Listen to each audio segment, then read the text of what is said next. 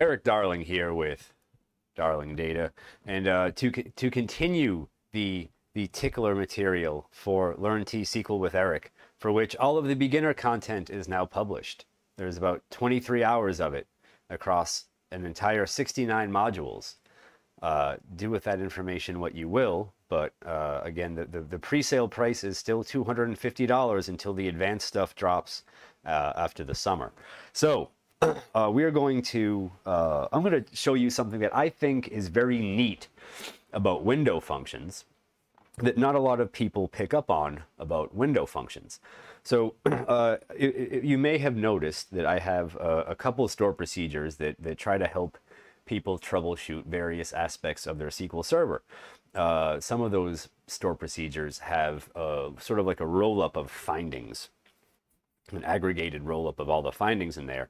And what I found was that, of course, you know, it's very easy to, uh, you know, produce the sort of summarized output. What it what was not easy to do was to order that summarized output later. So uh, what, what I ended up uh, learning to do to make that easier is when I insert the data into the table, I, I have a, a, not only the aggregations of the things, but also a row number that, help, that, that gets produced based on the aggregations of the things.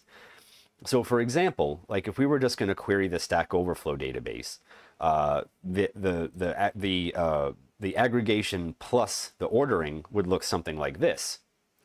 Uh, we're going to uh, get a count of all the posts, right? So we're getting the post type ID up here, and we're producing some text. And so like because we're producing some text, uh, you couldn't order by the text in the output because it was just going to be like texty ordering. We're not ordering by like what had the most of something, which is what I would want to do. I'm going to like prioritize the high impact stuff first.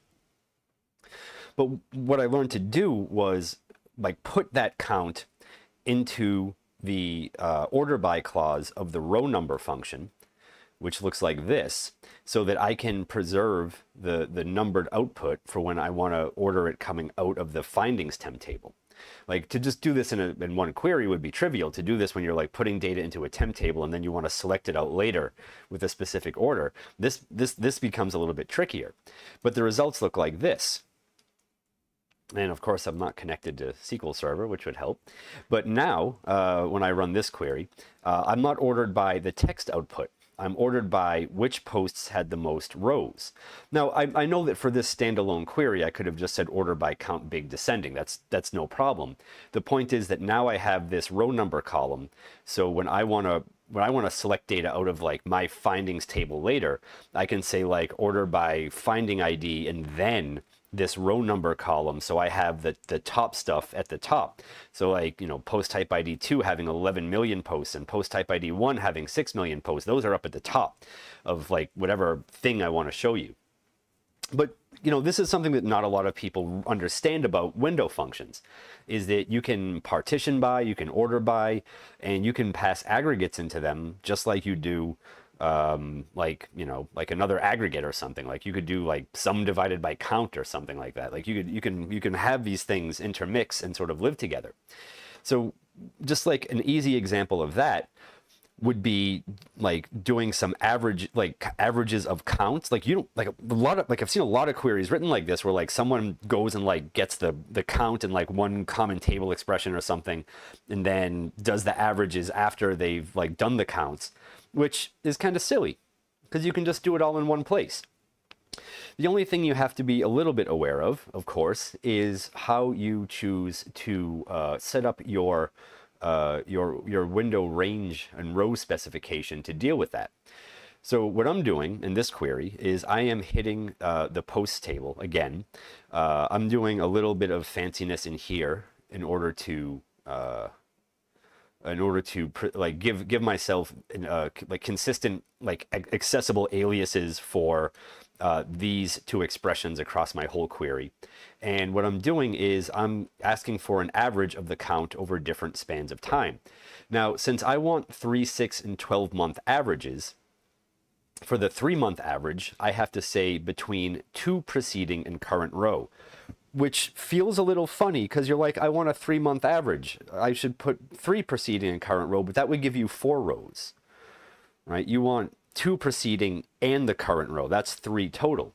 And it's the same thing for the six month average and the 12 month average. For the six month average, you want five rows, and for the 12 month average, you want 11 rows in preceding.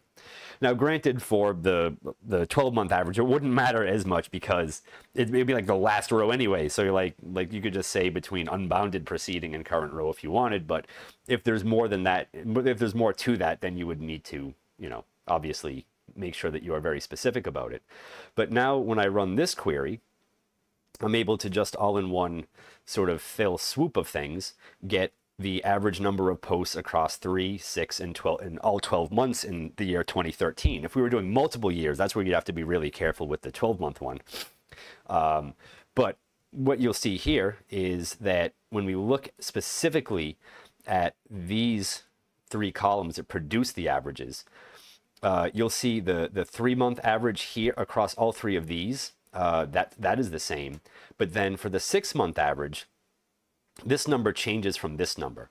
So this is just another three month average here, whereas this is really producing the six month average across these right? So like this 12 month average here too will have the same thing across the first six months, but then uh, like where this thing for every three months will reset and give us a new set of averages. This gives us two two window frames of of averages, the six months and six months, and then this one like where this agrees up to the six month part. This is this really this really like departs here, and then we have like the full 12 month uh, um, you know sort of like uh, average across all 12.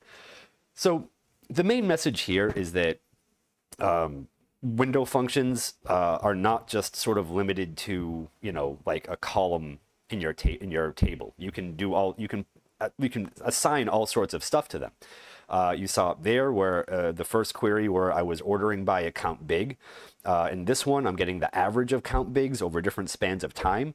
So there's a lot of neat stuff you can do with window functions that uh, are like, like may not be just like immediate, obvious, and, and apparent to you based on the way you see a lot of window functions out in the world written, but there are some really cool things you can do with them that often get overlooked. Like you'll hear people talk about like you know how cool and powerful they are, but they kind of just give you the same examples of like you know the kind of like I don't know, it's like here's a row number over and over again. Like here's this different things you can do with row number. You're like, okay, row number, great, but like like think of all the other neat stuff that you can do for your sort of like neat analytical queries. Anyway, uh, that's enough here. Again, this is all tickler material from Learn T-SQL with Erik. Uh, still on sale for 250 bucks. There's a link down in the video description if you want to see much, much more material like this.